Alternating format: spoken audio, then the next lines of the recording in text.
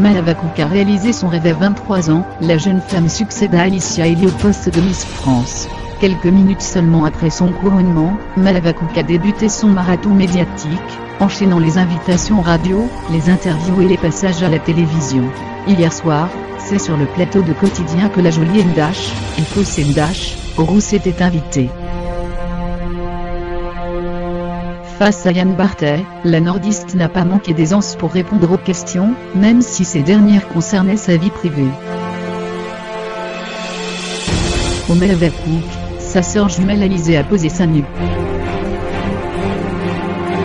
Interviewée sur un éventuel petit ami, Malavakouk a joué franc jeu. Si la jeune femme a révélé être en couple, elle ne souhaite toutefois pas exposer son petit ami. Je peux l'exposer, mais je choisis de ne pas le faire, a-t-elle expliqué.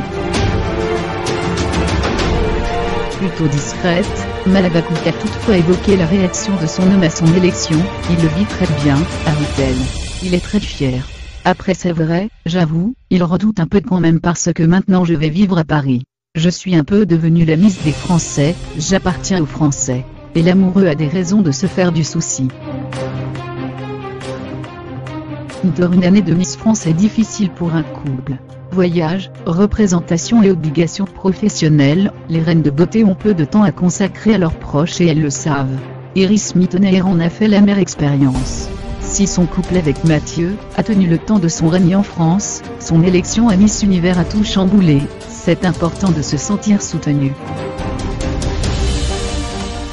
Il faut que la personne en face de moi comprenne ma situation et qu'elle le vive bien. Sinon ce n'est pas possible, expliquait-elle au quotidien, le matin rajoutant que déjà, pendant la Miss France c'était compliqué. Point. De quoi inquiéter un peu plus le petit ami de Maeva Cook. Point.